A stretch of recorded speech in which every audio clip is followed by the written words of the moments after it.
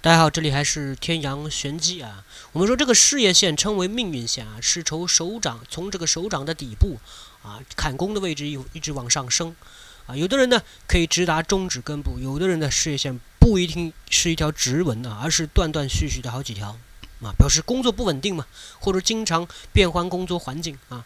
那么事业线没有或者是不明显，不代表没有事业啊，有的时候呢多代表变动性比较强而已啊，并不是说代表。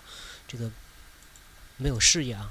如果是有八字属阳面向风水方面的困惑的，可以看一下片头片尾或者关注和私信啊。我们接着讲啊，我们看这个手型清秀纤长啊，一生啊清闲安乐啊，四指线间隙有比较明显有漏缝啊，代表早不聚钱或者是理财观念不强，甚至呢经常漏财之象。那么手指呢多缝隙啊，就是指手指伸出来之后啊，这个。我们对着阳光一看啊，很漏光啊，那么这种漏洞呢，就是会漏财。在投资方面，财运比较差，所以尽量的、尽可能的存钱啊，减少做投资的这种动作。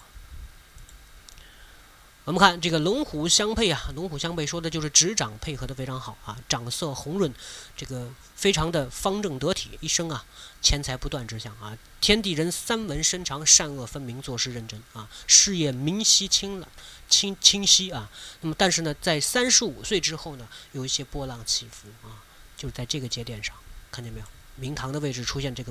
锻炼啊，所以事事业线在三十五岁之后波动大啊，变化比较明显，甚至有一些工作频繁调动的这个时候啊。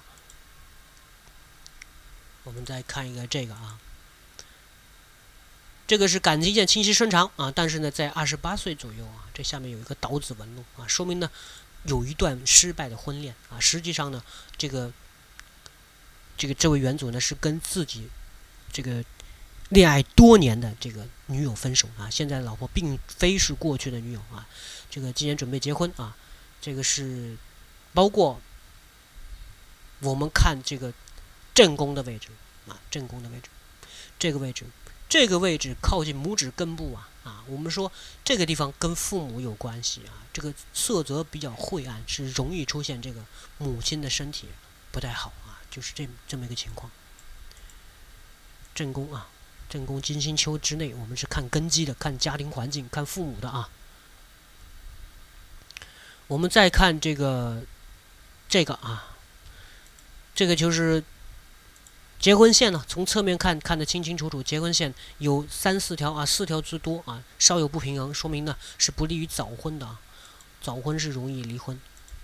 一个人的事业好坏呀，尽量的结合。